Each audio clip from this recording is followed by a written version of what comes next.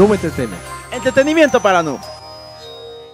Hola amigos, ¿cómo están? Bienvenidos a un nuevo video de Noob Entertainment. Pero güey, traes la misma ropa. ¿Cómo que? ¿Cómo que otro? Sí, les avisé que iba a ser el mismo día del video anterior. Mejor cámbiese de ropa, mugroso. Ha llegado por fin el momento de empezar con las reseñas y opiniones de anime de la temporada otoño 2018. Y vaya que vienen muchos videos, así que comprenderán que el tiempo apremia. Y el día de hoy vamos a hablar de uno de los más destacables de- esta temporada, que de hecho realmente creo que fueron pocos. Y estamos hablando de uno de los animes de los que menos se esperaba y de los que más sorprendieron. Y este es Zombieland Saga. ¿Sacando un anime de zombies en época navideña? Algo así. ¿Es de zombies? ¿Viste Crepúsculo? ¿Es de versión zombie? ¿Son zombies hermosos? Ah, por así decirlo. Este anime cuando se anunció se dio muy poca información, simplemente nos mostraron un póster con algunos de los personajes y ya, realmente de la trama no se dijo nada. Así que mucha gente se esperaba una trama un tanto de terror precisamente, incluso algo del estilo de High School of the Dead. Y de hecho al empezar el primer capítulo dio la impresión de que iba a ser algo como lo que se esperaba, pero hay que decirlo y no es spoiler porque se ve desde el primer capítulo, da una vuelta completa. La historia es simplemente comedia y más que comedia maneja una trama que nadie se esperaba que son las idols. Y así es, en este anime tenemos un grupo de chicas a las que prácti- prácticamente obligan a formar un grupo idol y sí, son zombies. Se nos presenta un personaje que misteriosamente, porque jamás se explica, revive a estas chicas que incluso vienen de diferentes épocas para formar un grupo de idols y salvar la ciudad de Saga. Que sí, el nombre de Zombieland Saga viene de ahí, del nombre de la ciudad. A pesar de todo y del extremo giro que toma, es muy bueno, es de lo más destacable que tenemos en esta temporada. La historia simplemente sigue a estas chicas y cómo se adaptan a su nueva vida como zombies, a la vez que este tipo excéntrico las obliga a formar el grupo de idols y a presentarse en diferentes lados. Se empiezan a dar a conocer y tienen un poco de éxito. ¿De qué manera van a salvar Saga? Bueno, pues se podría decir que eh, avivando el ánimo de la gente que vive ahí. Como había dicho, maneja muchísima comedia y hay que decir una comedia muy bien manejada, incluso con el distinto tipo de chicas que tiene el grupo, ya que vemos desde la protagonista que es como la chica ordinaria a la que todo le sale mal, tenemos a una tipa ruda, motorista, tenemos a una mujer, am, ¿cómo se diría? Como de esas concubinas, si entienden a lo que me refiero. Tenemos a una niña actriz y a un par de idols de distintas épocas, pero que al menos ya tienen experiencia en ese tema. Y a otra zombie que prácticamente viene siendo como la mascota de todas, porque es la única que sigue siendo zombie, no, no tiene raciocinio como las demás. A pesar de la comedia, incluso espontánea, logra meter drama ya que nos dan un poco de la historia de cada una de ellas y pues el cómo se desarrollan en su digamos nueva vida, por así decirlo. No me voy a enfocar en cada una de ellas porque sería dar spoiler y sería alargar demasiado este video, pero realmente todas son bastante agradables en ciertos momentos porque debido a sus historias y los problemas que manejan pueden llegar a ser un poco desesperantes, pero digo, ¿quién no tendría problemas siendo un zombie y sabiendo que su vida ha cambiado por completo? Todas tienen desarrollo excepto Yohiri, que es la concubina, y Tae, que es la zombie que no ha despertado. Cortesana era la palabra. Ok. En mi pueblo las- les decimos pirujas. Sí.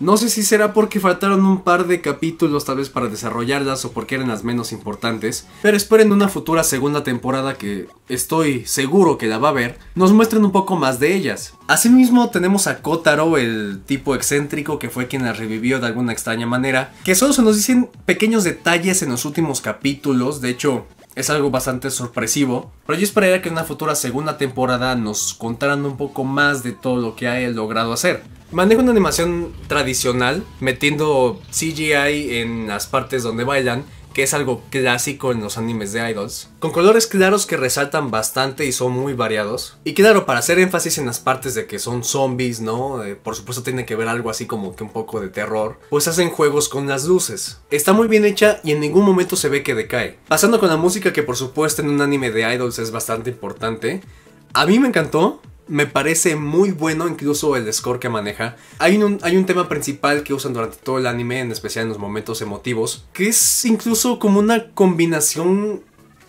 con mariachi, no sé, o sea, me da esa impresión. De verdad está muy bueno el tema. Lo más destacable de este anime es el soundtrack. Las canciones de este grupo llamado Franchuchu, creo que no lo había mencionado. Y el soundtrack que es bastante variado, ya que a lo largo de los capítulos, eh, este tipo, como dije, Kotaro, se la pasa buscando presentaciones de todo tipo para que ellas vayan desarrollándose como grupo.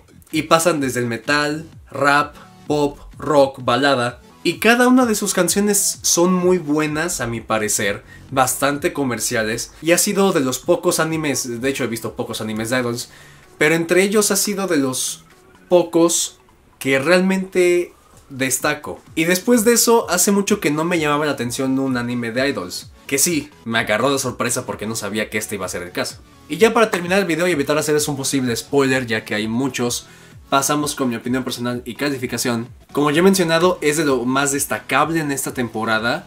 Y no solo lo digo yo, lo dicen las encuestas. ¿Es en serio? Oye, hablo.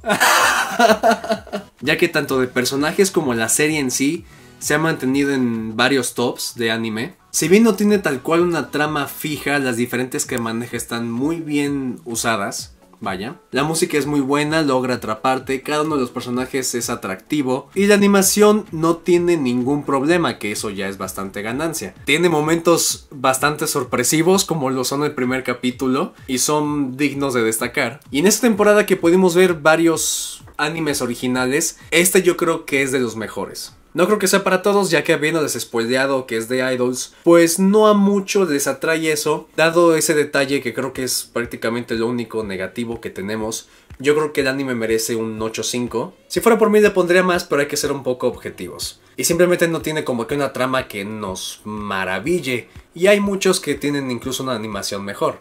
Y esto fue todo por hoy, espero que les haya gustado. Les juro que sí fue todo por hoy, ya para el próximo voy a traer otra ropa. Si les gustó no olviden darle manita arriba, comentar, compartir y suscribirse para nuevo contenido. Darle la campanita para que les avise cuando subamos nuevo video. Seguirnos en nuestras redes sociales Facebook e Instagram y una que otra red personal que les voy a dejar por aquí. Con esto empezamos las reseñas de la temporada otoño 2018 y me parece que este va a ser el último video del año, así que les deseo un muy buen fin de año e inicio del próximo. Señor Julián, ¿algún eh, comentario motivo que quiera decir. Métanse al gimnasio rápido para que bajen todo lo que subieron en los últimos 10 días, así como el señor Relón, que ya no va a caber en la ropa que tiene ahorita. Y sí, no, es todo. Felices fiestas. Eh, conduzcan con cuidado. Ok, creo que no podría haberlo dicho mejor. Sí. Y deposítenos en la cuenta que va a colocar el señor Lalo porque pues año nuevo, set nuevo, esperemos. Ya sin nada más que comentar aquí nos despedimos, yo soy Lalo Fonseca. Y el que está aquí atrás es eh, se le conoce en los lares. ¿Por qué me ves así? Solo dilo. Yo soy el Julián. Y nos vemos en el próximo video. Hasta luego.